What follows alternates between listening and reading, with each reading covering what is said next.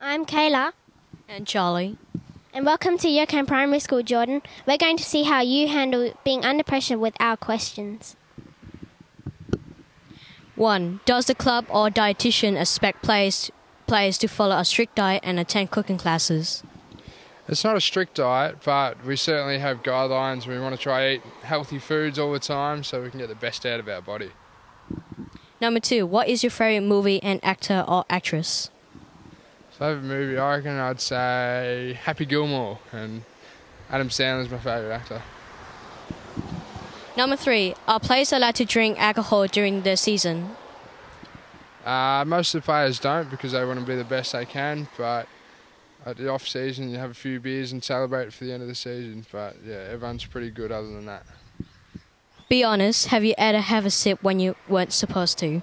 So that again. Be honest, you, have you have you ever had a sip when you weren't supposed to? Uh, no, I haven't. Number 4. What primary school did you attend and what were you like as a student? I went to Surfside Primary School in Ocean Grove back in Melbourne, and I was a good student, I thought, and did a lot of sport and that kind of stuff, so I was pretty good, I thought.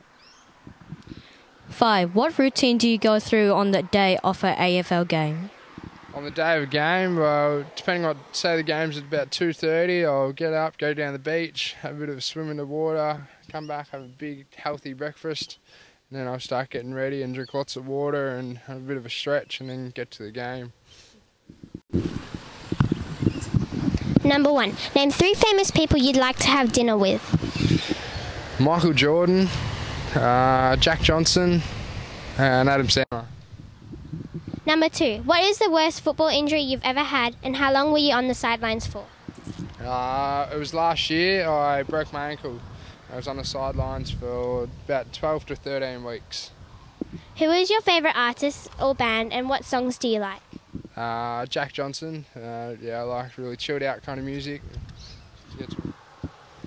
What is your favourite holiday destination and why? Uh, I'd have to say America, and I'd want to go back there again and cruise along the coast.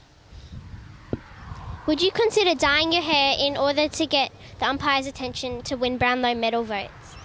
Uh, definitely not. No. That's all we have time for. Thank you for coming to our school today. This is Kayla, And Charlie. signing off as junior reporters.